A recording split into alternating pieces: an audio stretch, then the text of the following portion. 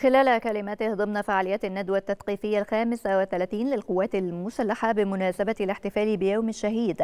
أكد الرئيس عبد الفتاح السيسي أن الشهداء قدموا أرواحهم ودماءهم لكي تبقى مصر. وقال رئيس السيسي إن العهد للشهداء هو المحافظة على مصر بما يليق بدمائهم وأرواحهم.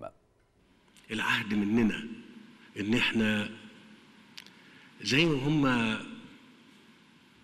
حرصوا إن هي ما تضيعش. إحنا كمان كمان نحرص على إن هي تفضل موجودة. مش موجودة بس كده لا. موجودة بما يليق بدم كل شهيد وروح كل شهيد.